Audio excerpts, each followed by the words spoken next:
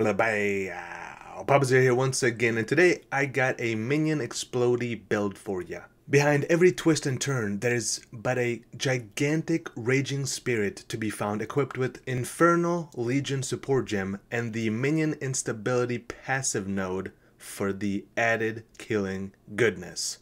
I chose SRS of enormity because they have a whopping 111% more life than the regular SRSs and also they always crit. With this in mind, I went to work to make use of both the initial hit doing decent amount of damage and the ignite that came after doing some work too. Once again, the MVP in this build is Lancing Steel of Spraying. In the beginning, I was using the Cyclone skill gem to proc my Raging Spirit, spirits via my axe that has the trigger socket fire spell on hit enchant. I do have some footage which I might show later on. However, since this build is not super tanky, being that up close and personal with my enemies is something I wasn't fond of. By all means, if you recreate this build, test for yourself what attack skill gem you like the best and let me know.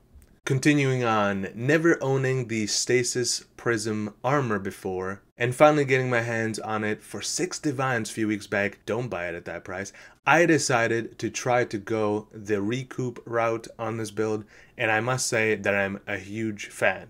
Sure, once in a while I still get one-shotted here and there, and rarely shotgunned to death, but overall it works like a charm.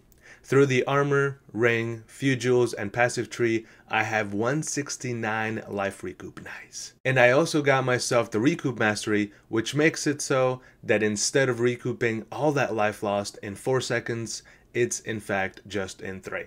I also went for max block once again, which is amazing, and to get some physical damage reduction, I have the Chaos Golem and Arctic Armor.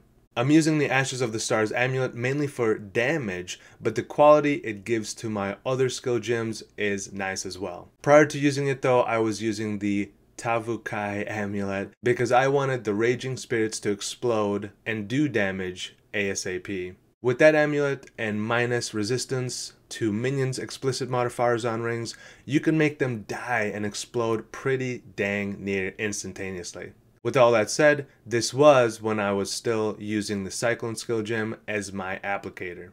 Once I switched to Lancing Steel, I did the opposite. I started taking the things that killed my Raging Spirits faster away to make them cling on to life long enough for them to reach their intended targets, but not so much so that I would be summoning more than 6 at a time and not proccing the minion instability because for SRS of enormity, the max you can have out at a time is indeed 6. It's a very delicate balance you have to achieve, so pay attention and do some testing of your own.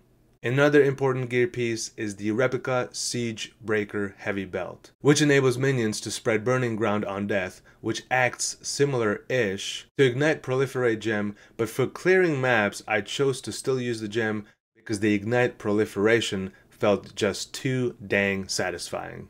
On very tough bosses, however, I swapped that gem out for crit multi-support gem to do more hit-based damage. On most of my jewels, I have life, life recoup, minion life, and or minion damage. The rest are either attributes allowing me to wield my equipment or cap out my resistances. Important note, you may have noticed on prolonged fights my energy shield slowly drains out, but the recovery is just good enough for me not needing to tweak it further. If yours does not replenish fast enough in whatever content you are running, you'll have to play around with either getting more energy shield on your gear using the discipline aura, getting some sort of uh, energy shield gain on hit, and or getting increased energy shield recovery rate such as I have on my helm and gloves. I think going purely hit based is a mistake because we lose a ton of dot damage. However, the opposite isn't the case. This could have been purely dot damage based build, but I just felt like playing a bit more of an active playstyle and tried to hit my enemies, especially bosses, as much as possible to utilize that hit based damage. I tested these jewels myself and liked them a lot, but ultimately chose not to use them the Blood Notch and Immutable Force Jewels. This would push my recoup to over 200 on stunning hits. Something else to consider is maybe the replica Dragon Fang's Flight Amulet and the Amanamanumau Gaze Jewel for more minion life and dot damage respectively. This Valiant Shield would help cap our blocks super easily, but our damage would be about one third of what it is, and I think that is just too much of a sacrifice for that extra tankiness. Lastly, an alternative gear piece that would provide nice quality of life in terms of defenses is the Defiance of Destiny amulet. I think that it's a solid, very solid choice actually. Again, I was greedy for damage, so I did not choose to use it, but if running very hard content is your thing, then definitely go for it. Here's a bit of the Cyclone footage. It definitely feels smooth to play, maybe even more so than Lancing Steel, but when you have to cuddle up to the big old monster that smacks very hard with its gigantic axe, it's uh, not super pleasant. So, yeah, play at your own risk, my friends.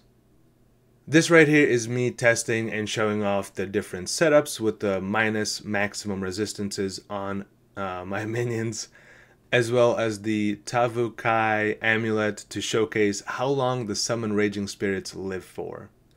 Again, do your own testing depending on what kind of setup you're looking for. Are you looking for them to explode immediately, or do you want to give them about two to three seconds to live? Maybe if you get some more uh, minion movement speed, you can make them last and go very far distance stuff. Play around. Oh, uh, don't mind me. This is uh, my AG, Animate Guardian, as they say. First map testing, 200,000 life. 75, yes, I made sure that it had 75 all res. Uh, dead in 1.3 seconds. Nice. That's amazing.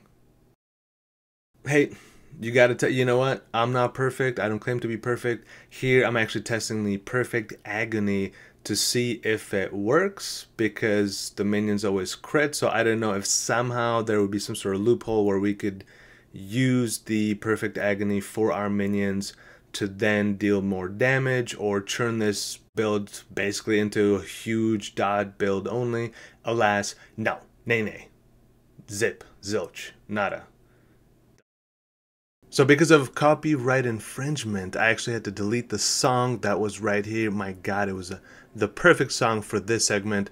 But long story short, this is me just testing out the different setups, mainly the same exact gear equipment besides a few changes, but the main thing was to see the differences in the gems. So make of this what you will. If you have any questions, let me know. Alright, that's about it for this video. Thanks for watching. I'll see you next time with another beautiful build.